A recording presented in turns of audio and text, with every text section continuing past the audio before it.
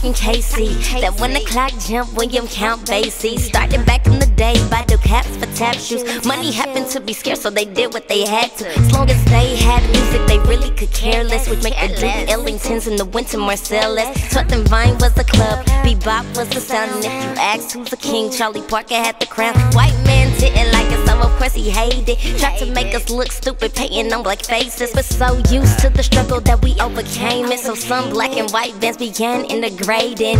Benny Goodman hired Teddy Wilson and Lionel Hampton, then Charlie Christian. All black musicians defying Jim Crow laws. Music gave a way for us to fight for a cause.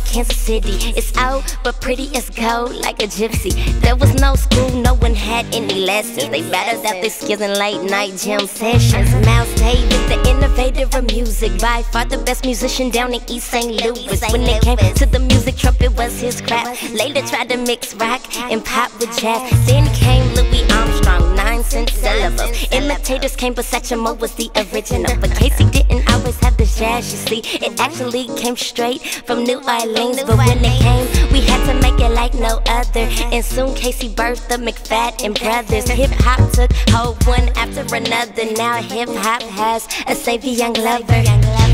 Heart in the soul of Kansas City.